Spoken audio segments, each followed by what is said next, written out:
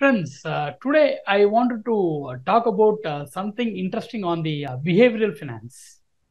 Yes, and how different styles were adopted by the fund manager, uh, which could be growth oriented, which could be value oriented, or which could be a combination of growth, uh, growth and uh, value. Fine.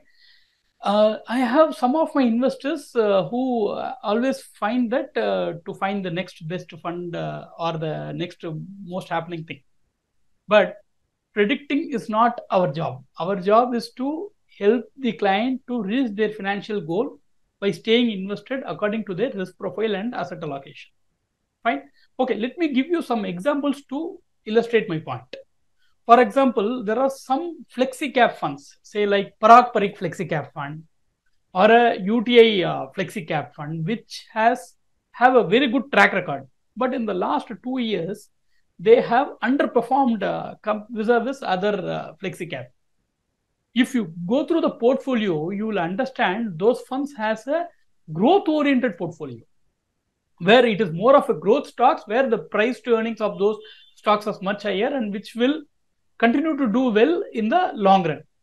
But in the last one year, post the Russia-Ukraine crisis, what has happened in the stock market is that most of the value stocks, which is actually undervalued and which has been beaten from 2019 to 2022, has rallied in the last one year.